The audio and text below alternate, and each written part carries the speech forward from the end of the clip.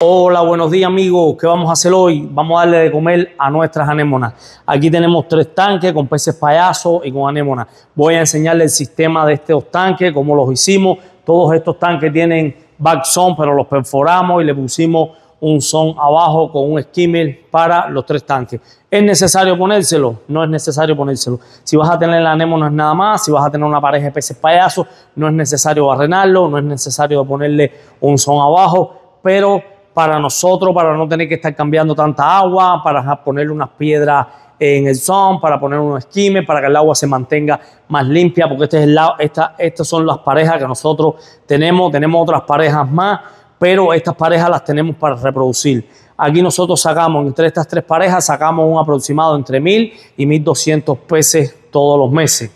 ¿Por qué razón? Porque los peces payasos sacan dos veces a mes y cada vez que sacan, sacan un aproximado de 300 huevos y a nosotros se nos dan súper bien. Al principio pasamos muchísimo trabajo para poder reproducirlo, pero gracias a Dios ya tenemos el conocimiento para saber cómo, cómo cuándo están listos para sacar, cómo recolectarlo, cómo alimentarlo, todo el proceso para que hagan metamorfosis para poder lograr los peces. Es difícil, sí es difícil, pero se puede hacer con tiempo, con amor, con dedicación todo en la vida se puede.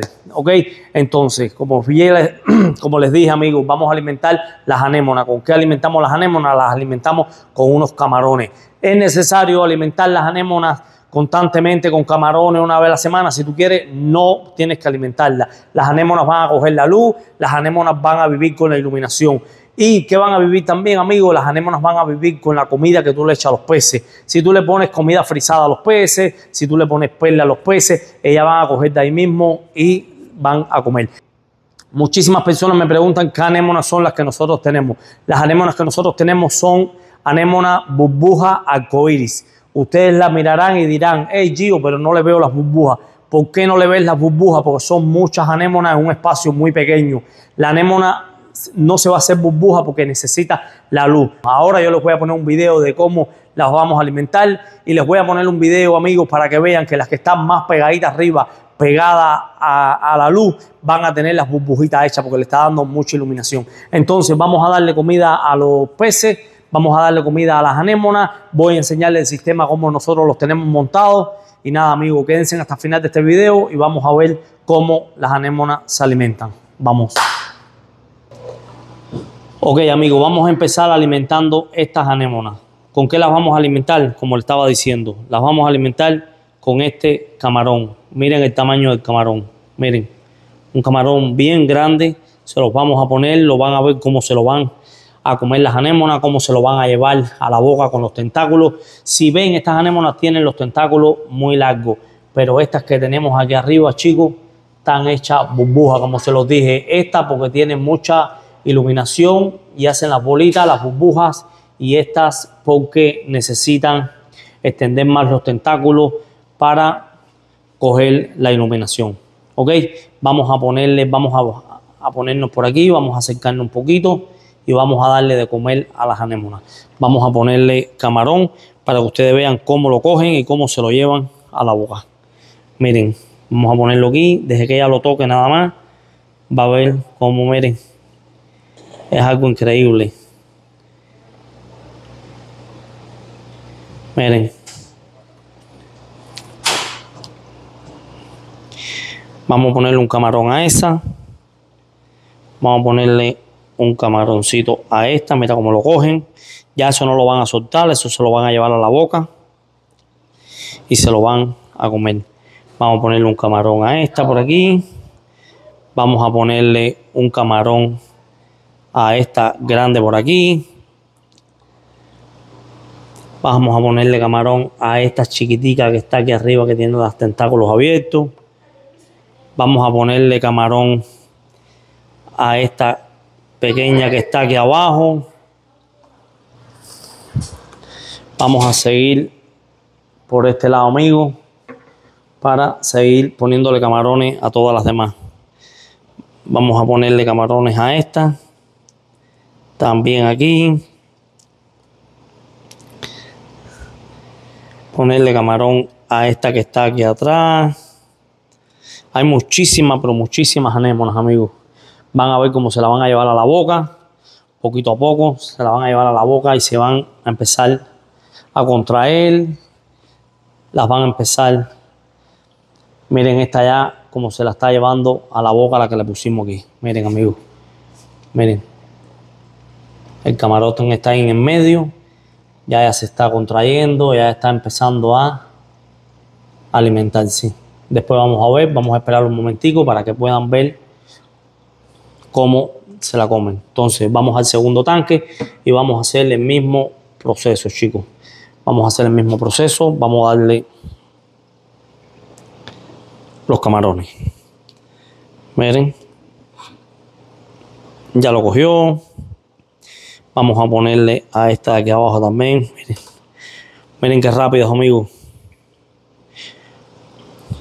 Como mismo lo está haciendo con este camarón, lo puede hacer con un pez, cualquier pez que ya cojan, se lo van a llevar a la boca.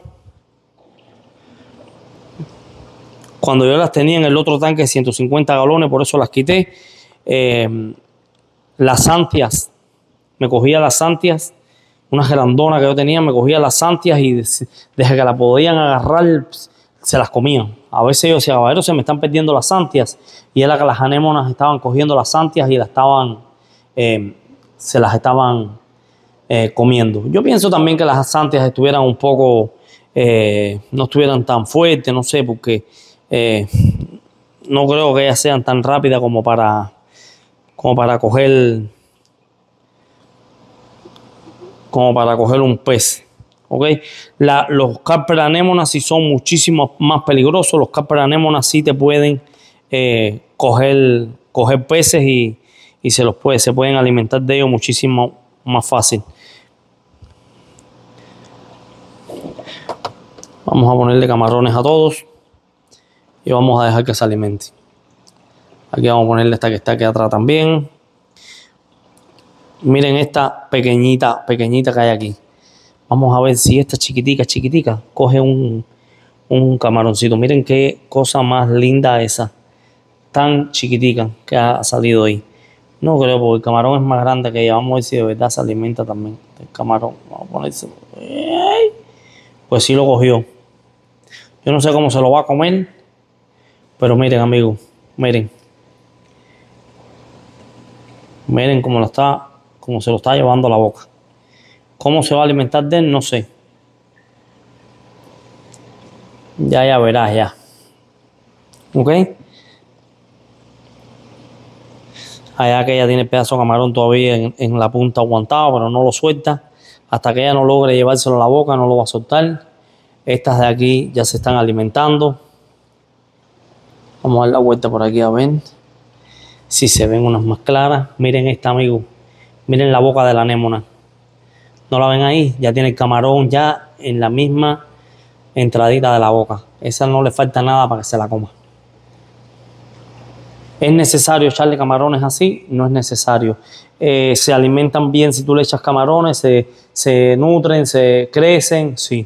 ¿ok? Pero si tú echas comida frisada, si tú echas otro tipo de comida, no creo yo que tampoco, ellas lo mismo cogen perle que lo que tú le pongas, porque ellas sí no, no son muy selectivas con, el tema de la comida. Lo que tú le pongas, ellas se alimentan. ¿Ok? Mira, hasta aquí también está para comer.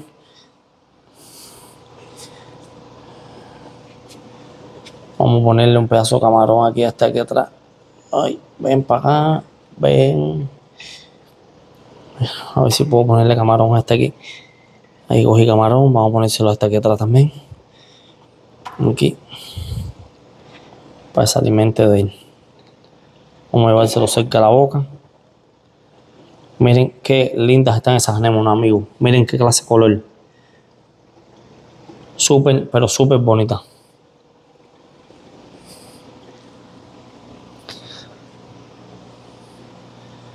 Ok.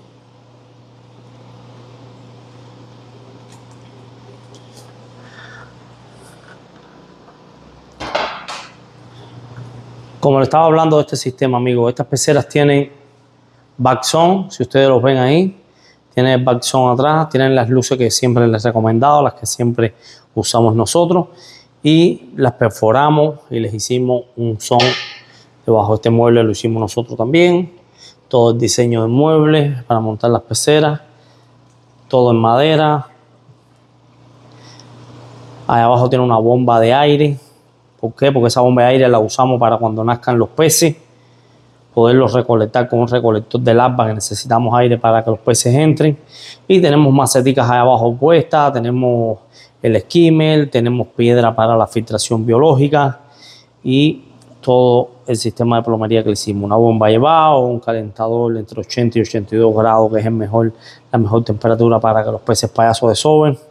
Y nada, amigos, por ahí, por ahí tenemos el sistema hecho.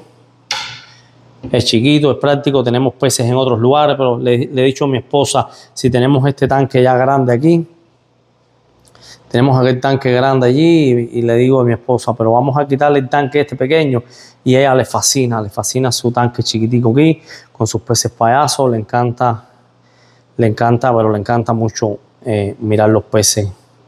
Aquí vamos a ver si podemos coger una toma por encima, a ver si se ve un poco. Las anémonas desde arriba. Ahí están comiendo.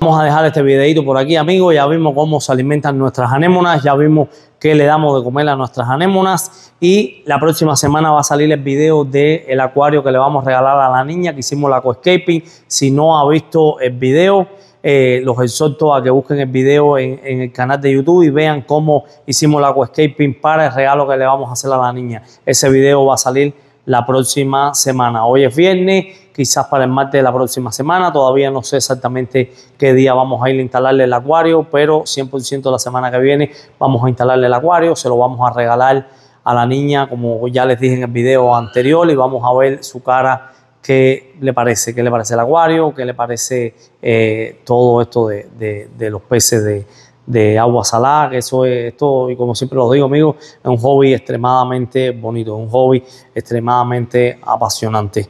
Ok, pues nada, amigos, como siempre les digo, los queremos mucho. Gracias, gracias por sus comentarios, chicos. Gracias por sus likes. Denle like al video, chicos. Compártenlo, amigos. Comparten, compartan, compartan, compartan, compartan, compartan el video.